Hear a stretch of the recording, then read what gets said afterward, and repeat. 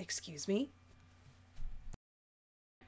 Hello, hello, and welcome back to Friendsim.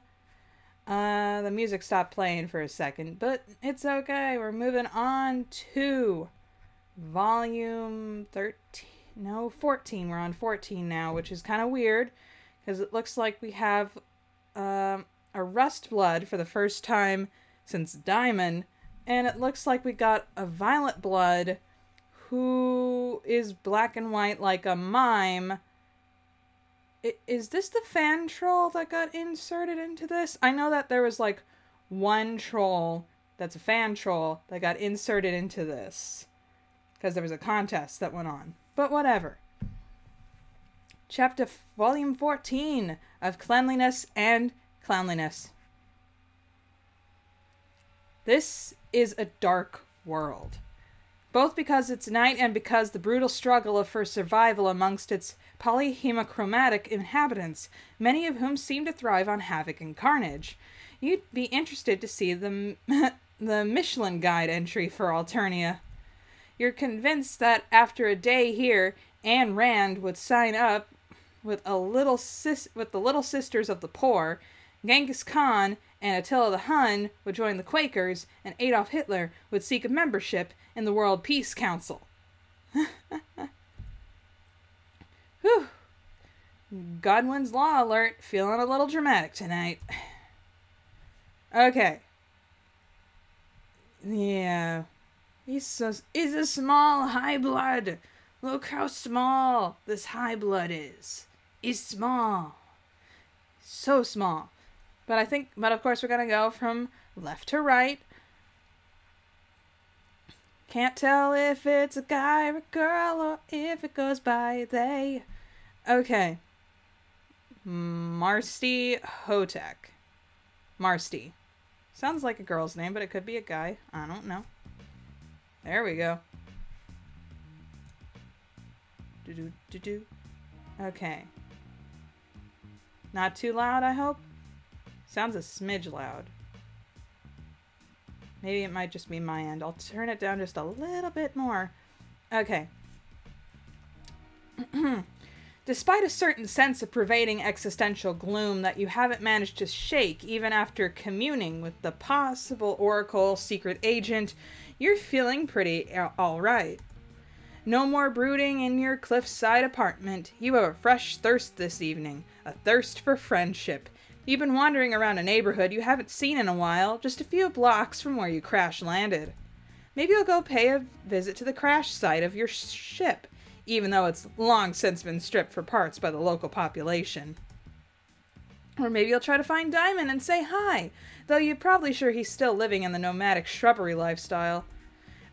You're just here for the nostalgia, honestly. Malaise who? You hardly know her. Just then, from across the street, echo two voices raised an argument. Ooh. Well, one is soft and murmuring, and one is loud and honking. A rust blood girl and a purple blood guy are squared off in front of a patch of graffiti that blooms over the bricks like moss. So, soft, murmuring, rust blood girl. okay. The girl appears to be in the process of scrubbing it away. There's a mop bucket and a collection of sponges next to her. And I told you, this stuff is sacred mother trucking iconography, the purple blood is saying. So, screw the hell off, little red dumpling. The rust blood says something back that makes him laugh. The sacred iconography appears to be a collection of swear words and a couple colorful renderings of certain sections of troll anatomy you have not yet had the chance to explore. the girl with the bucket wrings her sponge out and stares the clown down. While you assume she's staring him down, she's wearing big round goggles to match the bright rubber gloves, pulled all the way up to her elbows. Despite the mop bucket, she looks more like a scientist from a B grade horror movie than a janitor. The purple blood doesn't have any visible weapons on him, but that doesn't make him look any less dangerous. And unless the girl has a blade in that mop handle, she's totally defenseless. You've faced this precise scenario more than once, but it doesn't get any easier. No matter how much self confidence you've earned or hardships you endure, life or death friendship decisions don't get any easier. intervene or mind your own business for once in your life. Let's try intervening, because I just want to see the world burn. Who are you kidding? You were never going to leave her to fend for herself. It's against your religion, your religion of flexivity and ceaselessly searching for new buddies. You aren't making excuses for it anymore. You decide to take what Boldir said to heart and just resign yourself to fate. Well, th- that isn't exactly what she said, but a lot of it was conv- confusing and spooky. You're half convinced she was just doing it for the mysterious aesthetic. You stride confidently towards the altercation, calling out a challenge to the rogue clown. Nobody messes with those less fortunate while you are on the case. Mmm.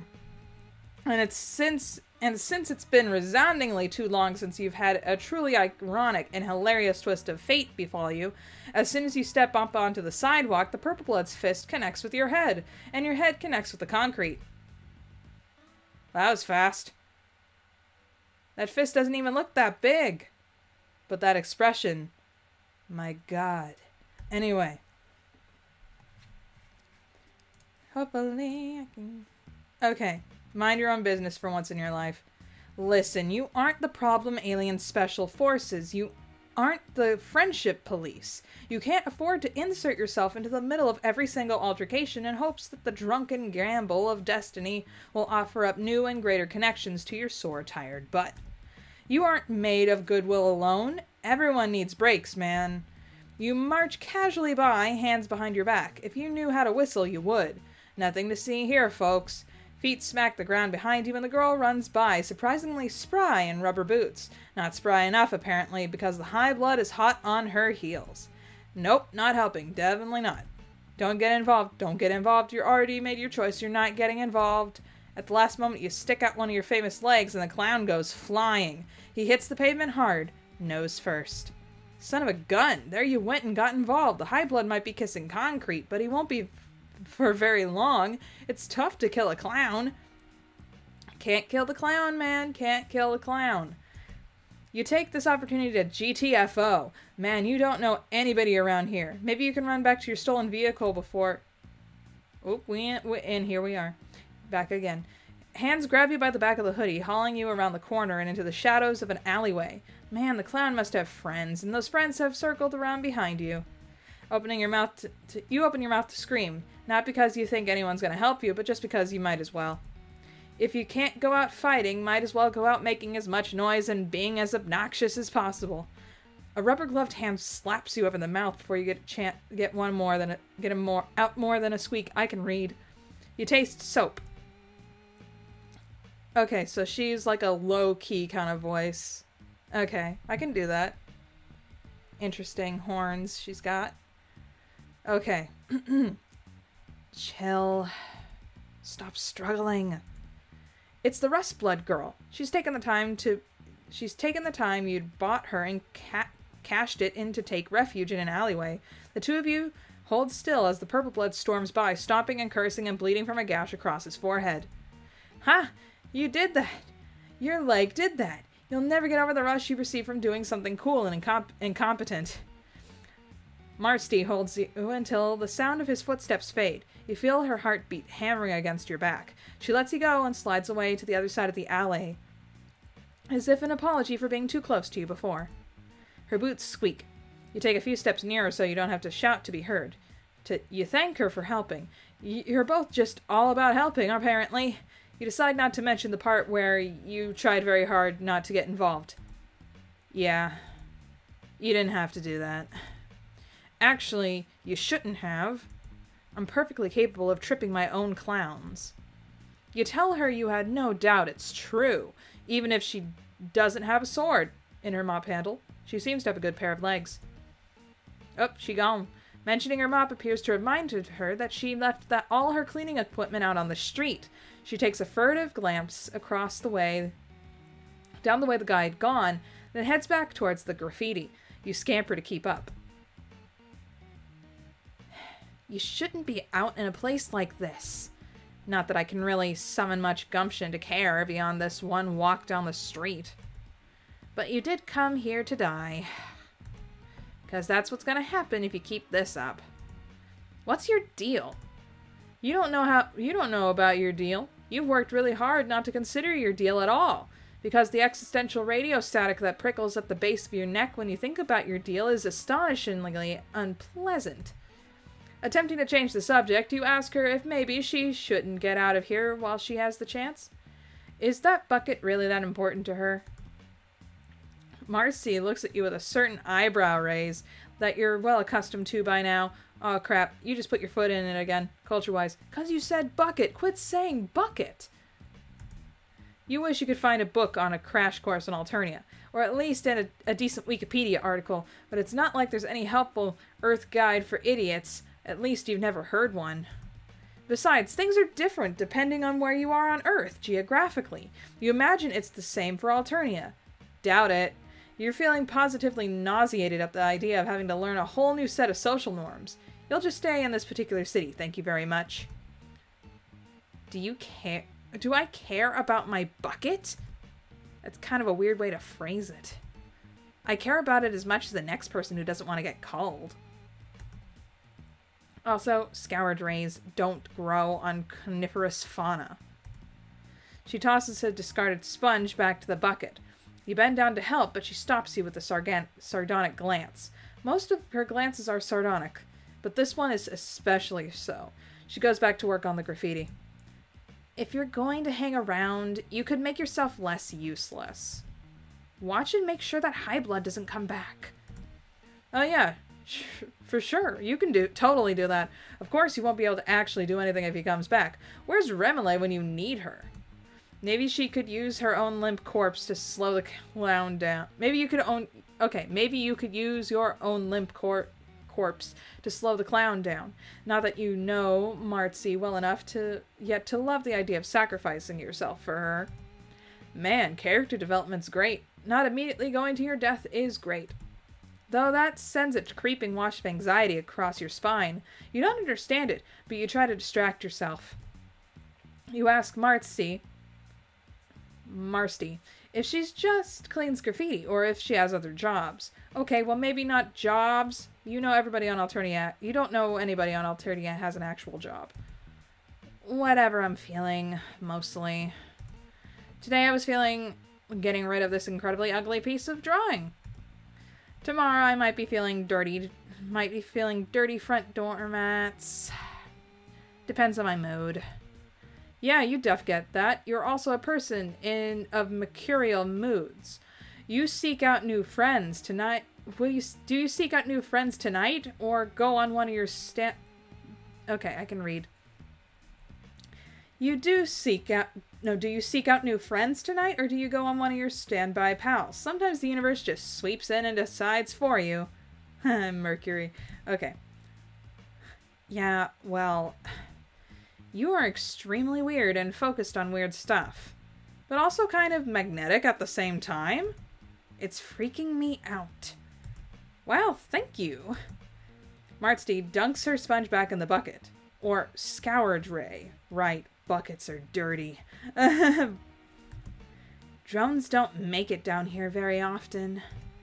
There's a lot of stuff to scrub. You tell her it's cool that she likes cleaning so much. Where you're from, physical labor is considered morally virtuous, but also kind of looked down on. Man, maybe you could use an Earth Cultural Handbook of your own self. Who said anything about liking it? Who made the rule that I can only do what I like?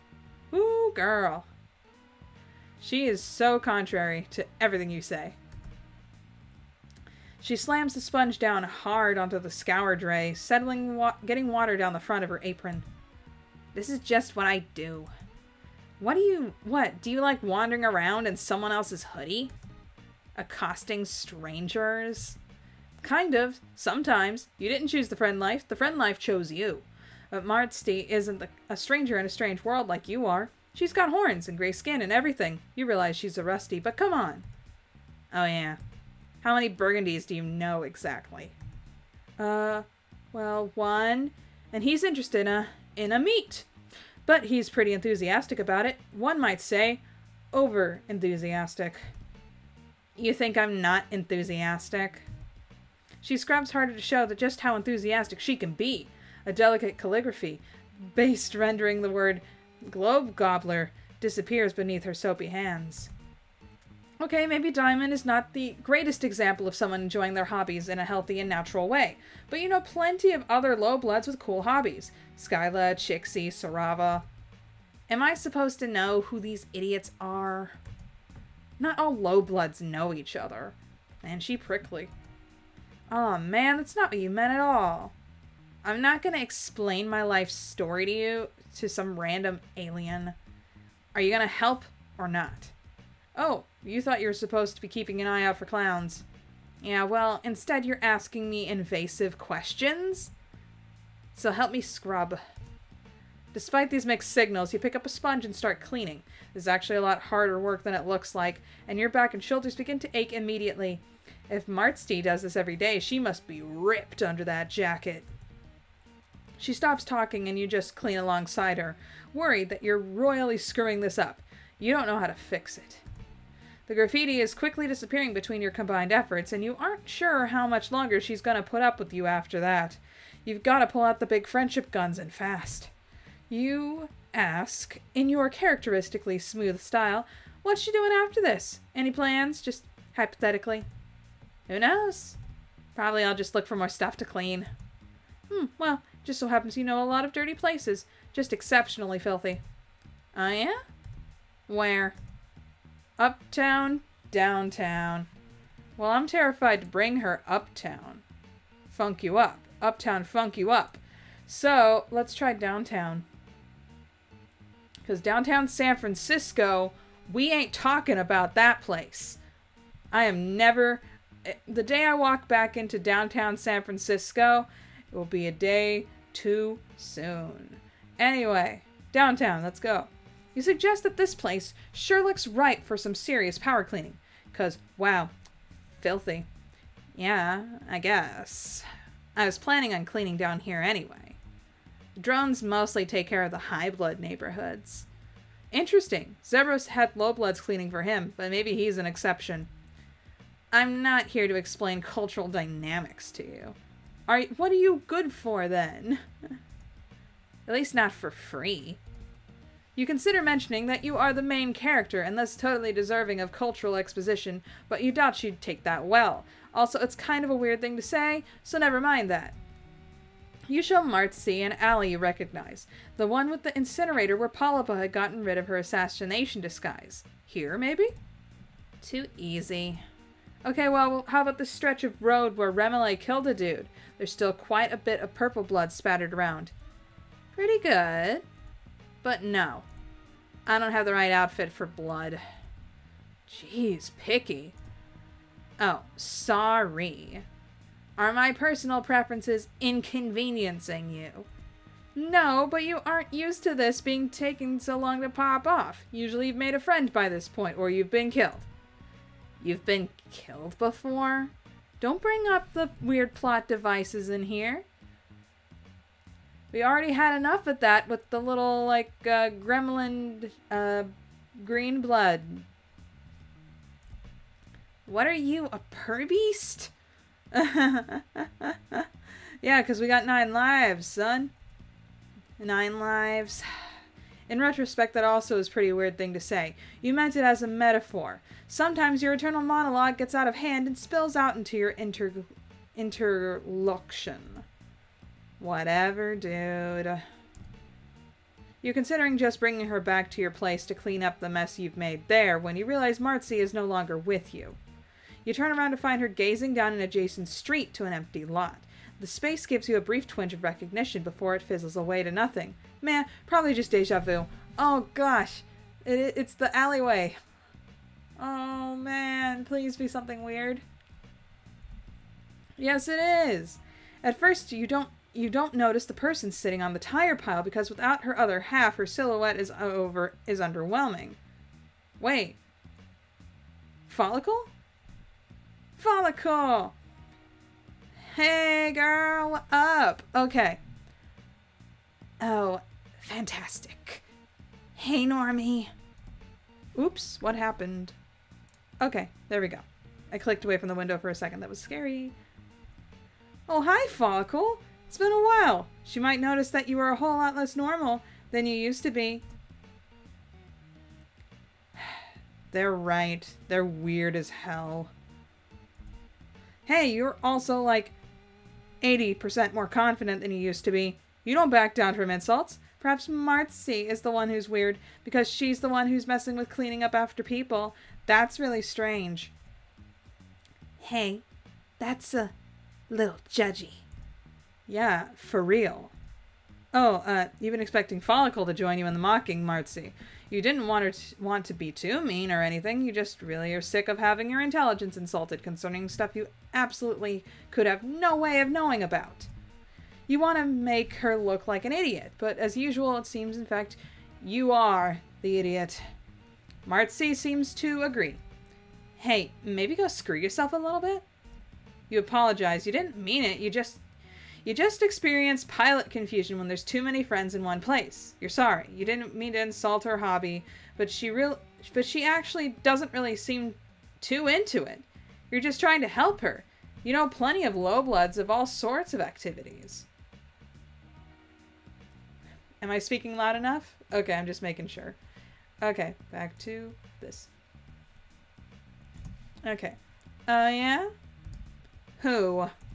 Well, Folykl, for instance, she trolls. Wait, you need another word. She and her boyfriend uh, harass people, and they seem to enjoy that. Also, there's Skylla and Chixie and Sarava. They all excel in their fields to a certain extent. Right. So, how's that going for them? Well, you deflate somewhat. Chixie gets skeeved on all, gets skeeved on all the time, and Skylla constantly has to defend her home and lusus against thieves. Sarava literally has to gouge out their own eye and downplay their psychic power. Vikare, well, near you, uh, uh, near you can tell, Vikare is having a great time falling off cliffs and imagining the firmative above. He might be an outlier and therefore should not be counted. Is he still jumping off of cliffs? I thought he broke every bone in his little body. Anyway, while you're working on your apparent classism through navel gazing monologue, Marcy is checking Folykl out, like really checking her out. Who the f- Okay. Who the hell are you? Folykl slaps Marcy's hand away. Keep your fronts to yourself. Whoa, we see her eyes. Marcy raises her goggles up to her forehead. You got Void Rot. No crap, Troll Sherlock. They've heard of Sherlock, though. Marcy gives her another once over. She looks impressed. You honestly can't blame her. If Marcy looks like. If Marcy likes grimy things, well, Folykl is right up her alley. Dirt El Dorado. Selfishly, you wish you met Marcy back when you were more of a wreck at the beginning of your adventure. You're filthy. Oh no, she likes things dirty. And you have no idea what you're talking about. Also, screw you. Marcy touches her on the forehead, slowly this time, so as not to take her by surprise. Folykl resembles a nervous little bug trying to decide whether or not to scuttle away. Is this, is this a black rom thing? This is getting weird. Do you think the dirt helped kept, keep you insulated?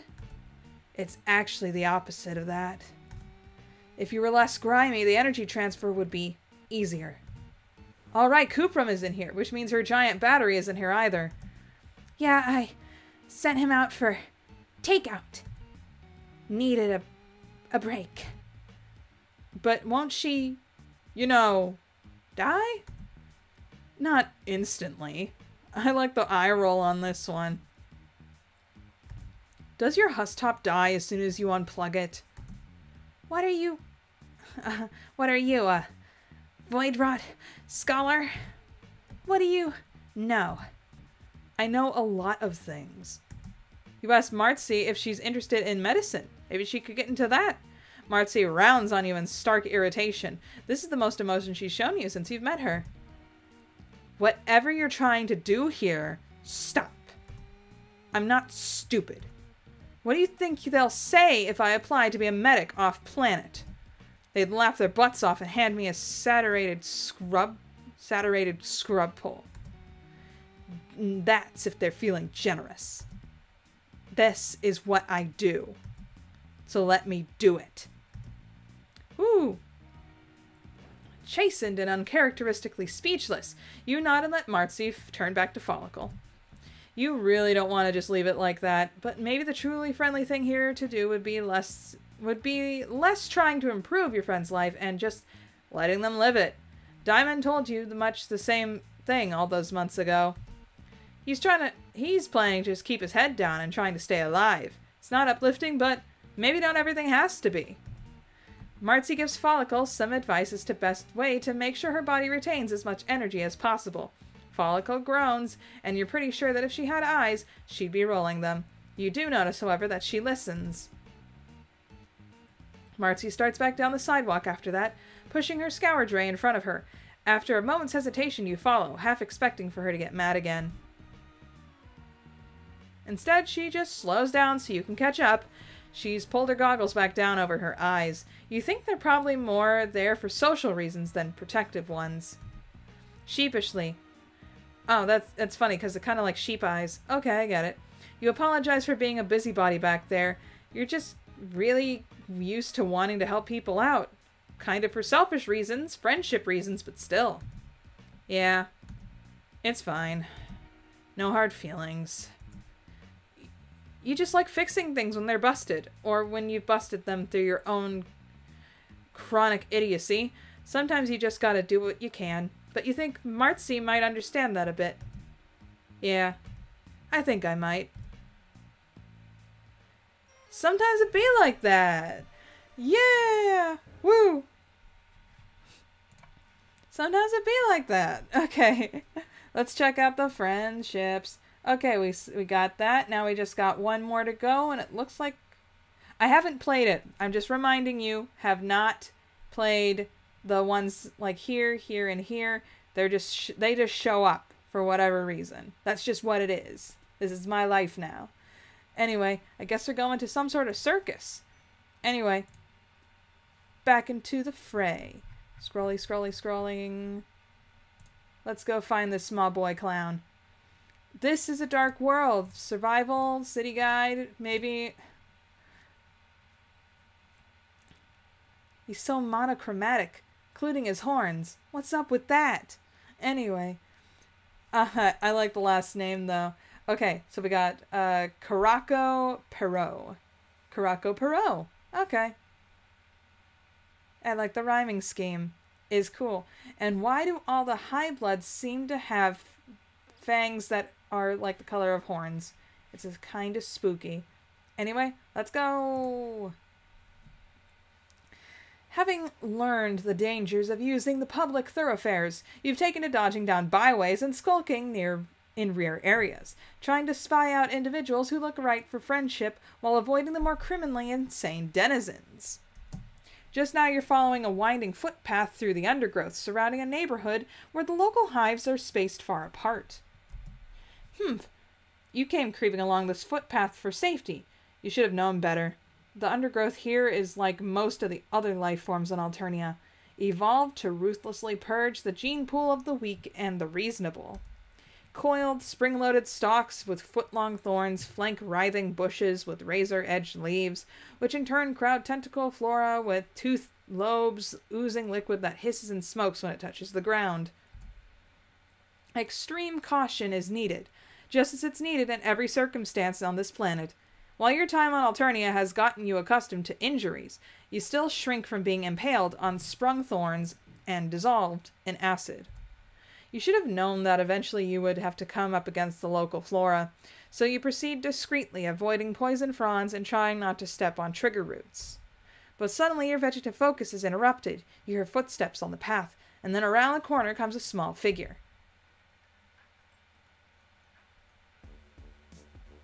Man, this is kind of loud. Now, is this the Toby Fox clown song?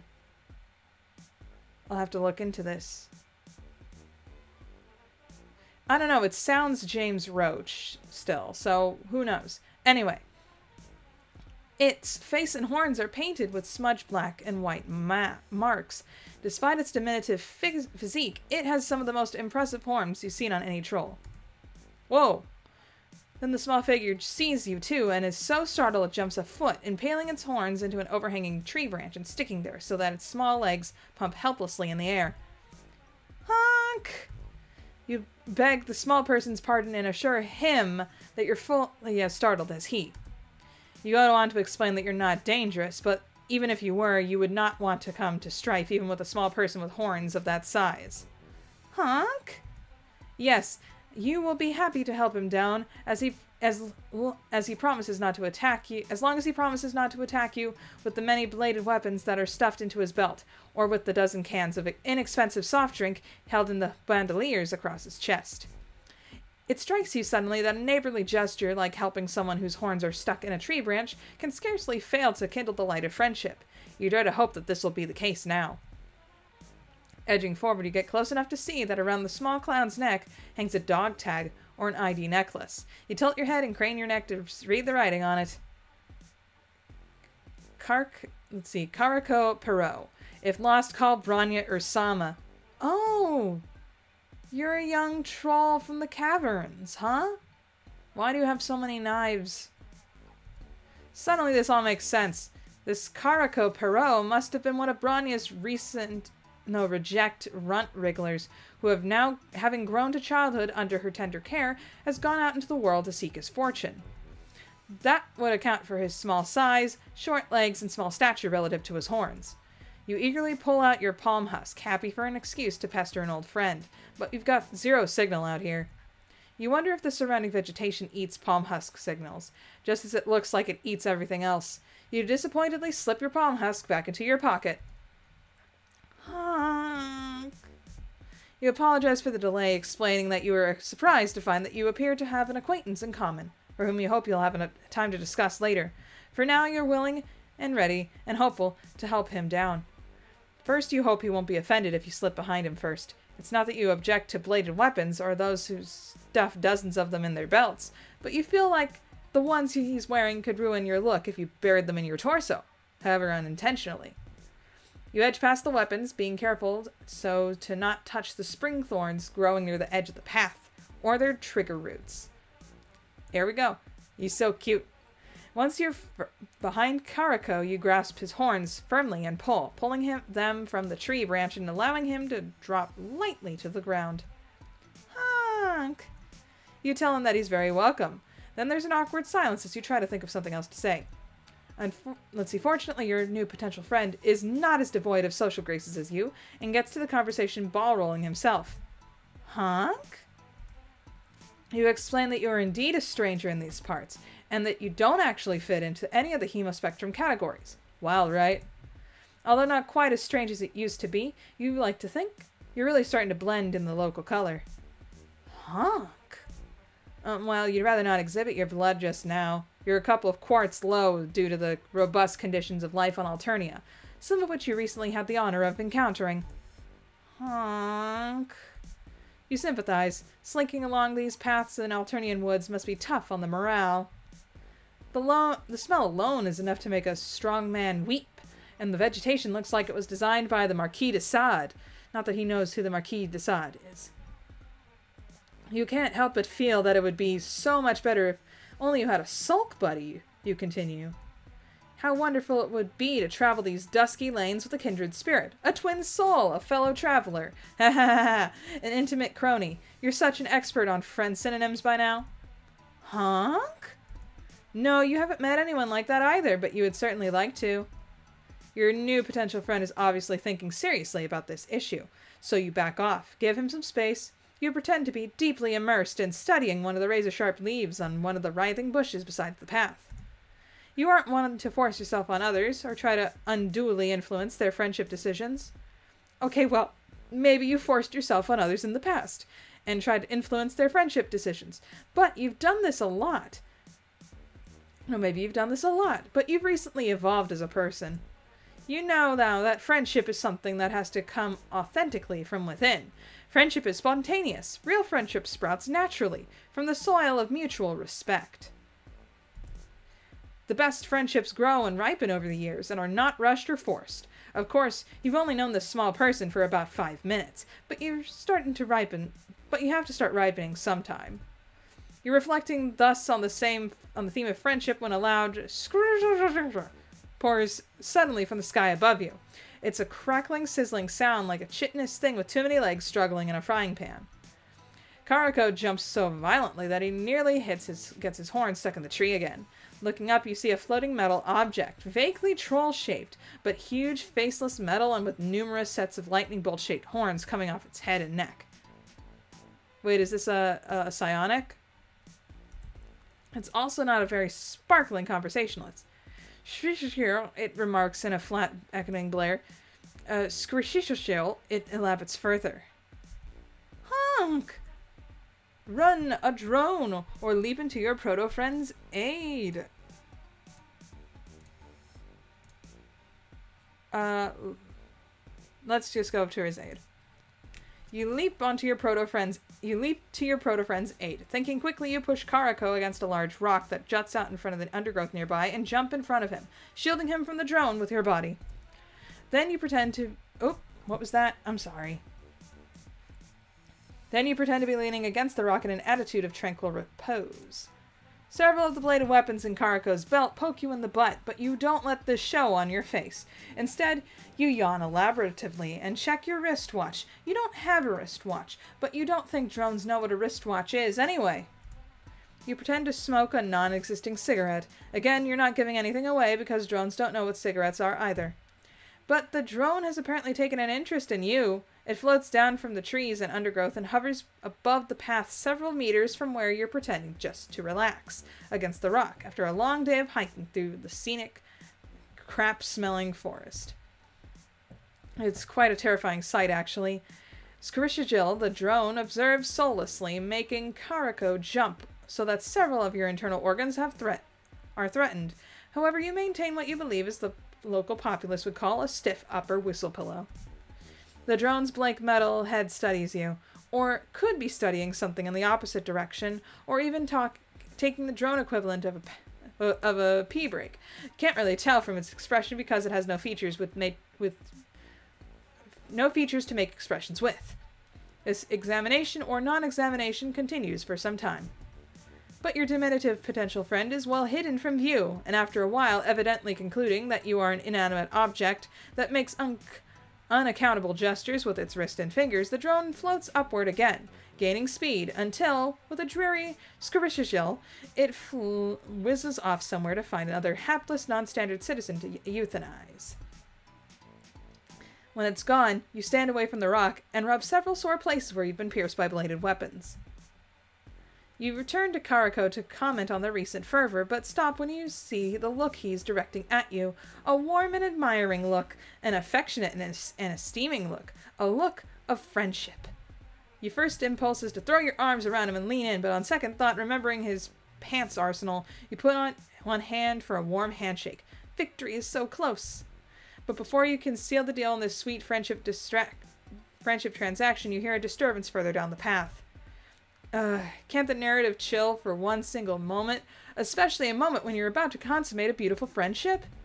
You get a look, the footsteps, several sets of them get nearer, and around the bend come three figures. Three figures wearing swimming outfits, lots of gold jewelry, and insoc insouciant expressions? Three figures with grills on their necks and small stylized fins on their face. sea dwellers! Holy crap. Oh man, is it possible you finally happened to group upon a group of legendary sea dwellers? They obviously they stopped short when they see you and Karako. Obviously startled, they study you. You study them. The then fin-headed interloper one, in a one piece and diamond earrings, whispers to her companions, and all three of them burst out laughing. Finhead interloper two, a violet wetsuit in a let's see, in a violet wetsuit and rings, slaps her thigh, and fin-headed interloper number three, in checkered swimming trunks, trunks holds his sides. Part of you is relieved. Laughter dri- drives out the devil, is the best medicine, and in any event is better than homicidal mania. On the other hand, this laughter isn't friendly. It's cold, mocking, and supercilious. These sea dwellers are obviously laughing at you, not with you. You notice Karako's cheeks flushing purple under his face paint, and his jaws clenching. However, he just stares with stony dignity at the interlopers. This just makes them laugh harder. The first Sea Dweller says, What are you two supposed to be? Shrimp Cassidy and the Squasmos Kid? Asked the second companion. A coalbait minnow and his mutated softshell crab, says the, her third. Looks like the minnow mall went down to the clown, cause it, cause causing it to splurt out another one. The sea dweller's laughter is redoubled. You continue expressionless at these insults, but to your dismay, Karako's face is taking on a harsh, glowering look. You guess it must. You guess that such a tiny dude has probably been victimized by bullies his whole life, and as you know, there are no bullies like Alternian bullies. Hunk. You tell him not to let them talk all that stuff they. You. No. Okay. You tell him to let them talk all the stuff they want. Don't let them provoke him. They're trying to get him to do something stupid. If he doesn't react, they'll get bored and go away. Honk. No, remember that drone? It's still around here somewhere. Touch a scale on their heads and you could be rendered to the mother grub feedstock. Hey, bottom feeders, no whispering when you're in the presence of your ba- of your bathers. And you, little boy, put a respectful expression on your recognition surface. Be more like your friend with the slender mana- the slender manatee over here. Am I Barbara Manatee? No one who okay, so no one who watched VeggieTales is gonna get that reference. Only people who have watched VeggieTales would get that reference. No one who hasn't, well, I gave you something to look forward to, look into. Oh gosh. Be more like your friend the slender manatee over there. In fact, what is it you two are still why is it that you two are still perpendicular? In the presence of sea dwellers, you should be bowed to at right anglers. The first sea dweller seems to have an affinity for cheesy ocean puns. You bow to the sea dwellers, you have your dignity, but you also like not getting killed. Oh, Red Eye! Red Eye! He has developed the red eyes. Karako remains stubbornly upright, his face getting angrier and purpler for the moment. The bladed weapons in his belt jingle from his enraged trembling. Oh, see the little eh, little clownfish? He's getting angry. Looks like he's gonna wet his pants. What did I tell? What did I tell about your face, boy? Didn't your lusus teach you anything? I doubt he even has a lusus. A self-respecting lusus would never let a shrimp like that out of the hive. Unless his lusus is just as defective. Ooh, the lusus cracks are a bit too much for Karako. Ignoring your hissed warnings, he suddenly leaps snarling into the air, draws bladed weapons from his belt in each hand, and hurtles towards the sea dwellers. Honk! Honk! I like that. The, I like the text. It's animated. Yeah, boy. Uh, grab him by the coattails and try to keep him from pre- no, precipitating a disaster. Leap into the fray and lend comfort and support. I'm leaning into leaping into that fray. You leap into the fray to lend comfort and support. You would have counseled Karako to turn the other cheek, and to keep turning the cheek after cheek until the sea dwellers got fed up and went away. But now that things have hotted up, you're not about to let that down. Let. Okay. You're not about to let down the side. Karako crashes into the sea dwellers, his blade weapons whirling like a blender. You scamper close behind him and kick someone in the shin. It hurts your foot. It doesn't seem to have any other effect. These sea dwellers are made of tough stuff, or you're inc- extremely flimsy. Signs have recently pointed to the latter. Your next sortie is more effective, however. Thinking quickly, you pick up a rock and throw it at the trigger root of a spring thorn growing along the path next to where the violet bloods are enduring Hurricane Clown. The coiled stalk springs out, impaling the dude with its dozen foot long thorns. He's thrown off balance, and violet blood begins to flow copiously down his body. That's a hue you haven't seen before. Hmm, kind of pretty. But these sea dwellers are made of tough stuff. He yanks the spring thorn stalk away from him, pulling the thorns out, and flings it into the woods. Then he takes out a pocket handkerchief and starts patting his injuries gently. Oh, wow. Meanwhile, Karako's bladed weapons have not been idle, and the other two sea dwellers are likewise leaking violet blood. But these jerks are hard to kill. You remember Polypa telling you that.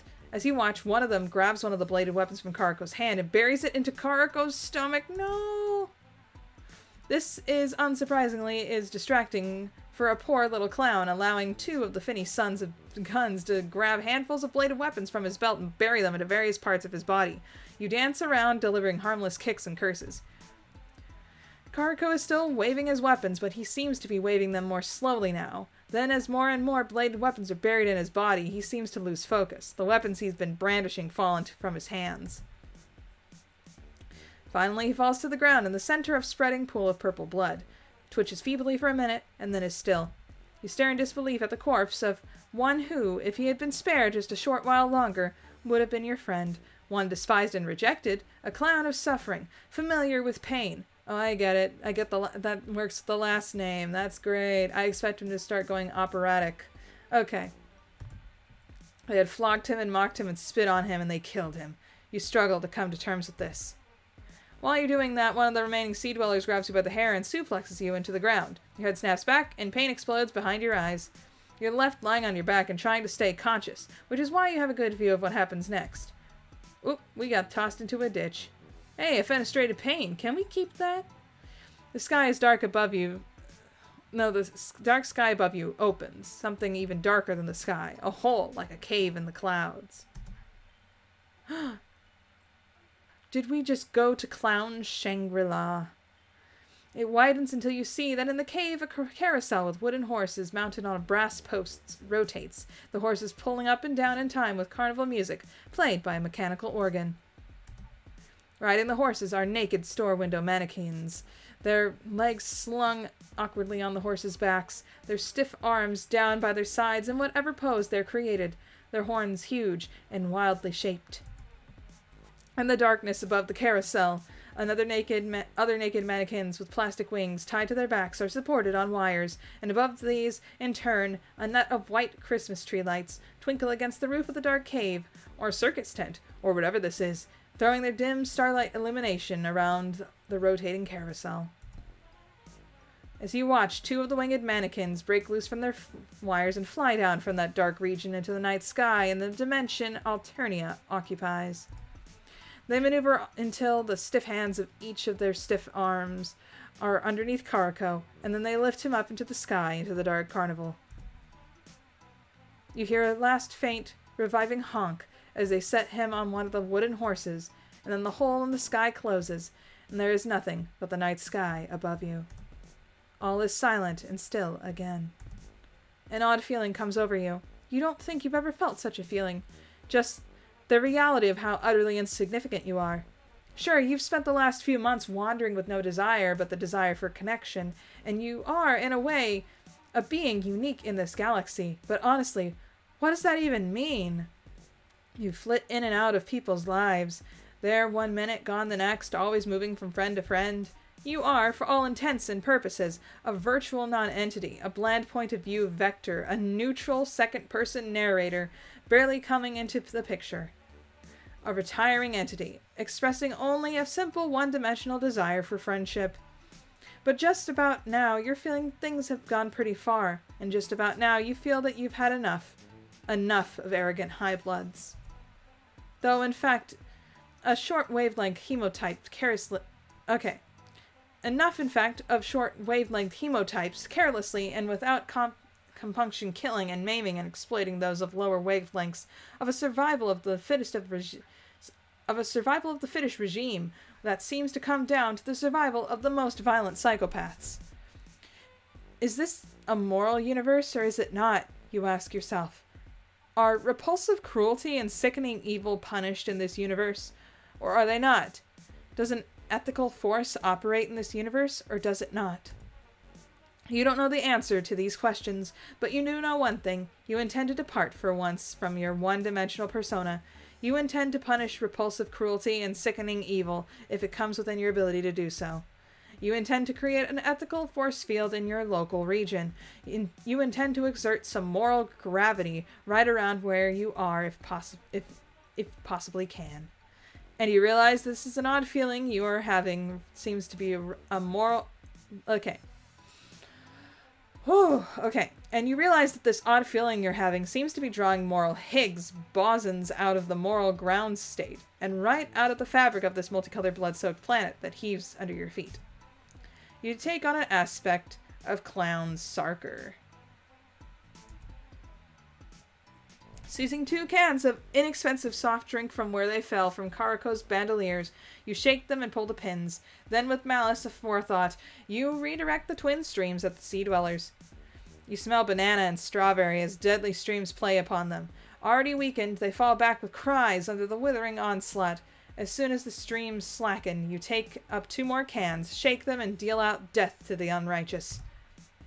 You smell peach and diet root beer this time, but no pity softens your heart. You wouldn't care even if it were a pineapple watermelon you were spraying on these brutes. But these finheads really ma- are made of tough stuff. Rallying even their rallying even in the face of this intense onslaught, they push forward and seizing some bladed weapons from the purple pool blood, advance upon you. Not one step back, you vow for the memory of Karako Pierot.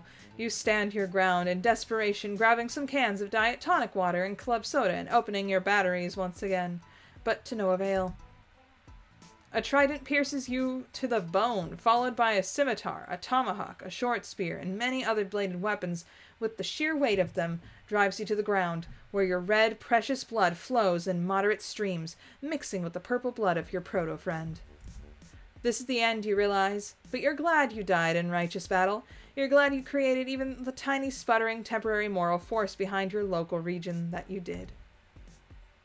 You can feel your life and narrative point of view slipping away, but you are content. Yet, what is that you see above you? A dark space has opened up, even darker than the night sky. Man, I'm getting hiccups, dang it. Okay. And two stiff looking winged figures are descending.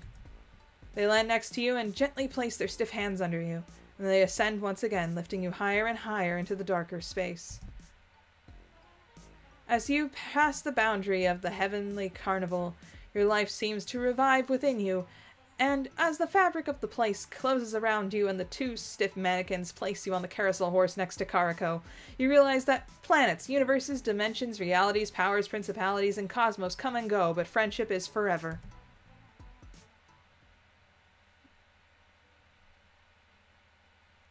Shh, friendship. We hella died. What the heck?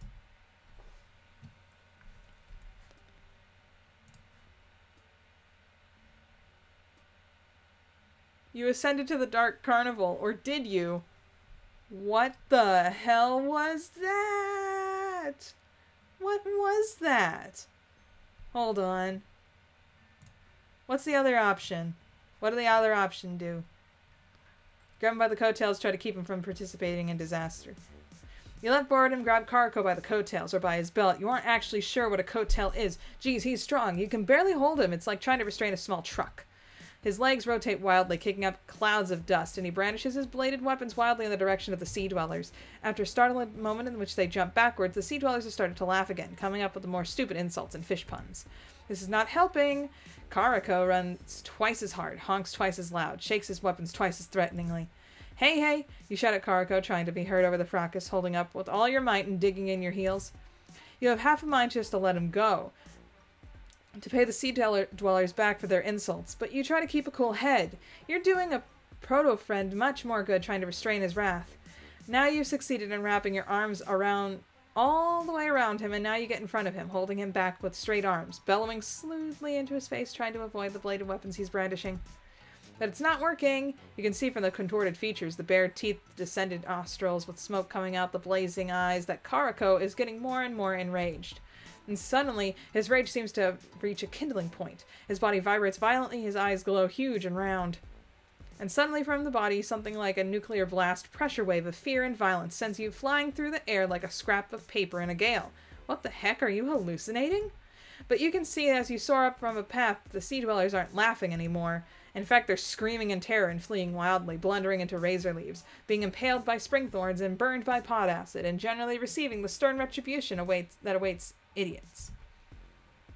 Then your head collides in a tree branch and you're rendered unable to narrate for a while. When you wake up lying in the dust, as unconscious returns, no, as consciousness returns, you realize that you're lying on the path, and as turns further, that a small clown painted figure is seated next to you. Quite calm now, he smiles fondly as he sees you sit up. Honk! You smile in return. You express relief that he realizes you were acting in his best interest, holding him back from the Finheads. And now, through largely because of his unexpected burst of clown, clown sorcery or whatever that was, everything has turned for, out for the best. Karako holds up his arms for a hug, but then remembering the bladed weapons in his belt sticks out of his hand. You shake it warmly. Friendship! Woo! Okay, I had to end it on like a nice note. Even had to end it on a nice note, even though I know we got the like canon ending, which is actually really depressing. Anyway, thank you guys so much for watching this episode of Friendsim. I will see you all next time. Bye. Hey there. Consider becoming a patron, just like the phenomenal Gerald Thomas, Bleed Red, and Alexander Madeline.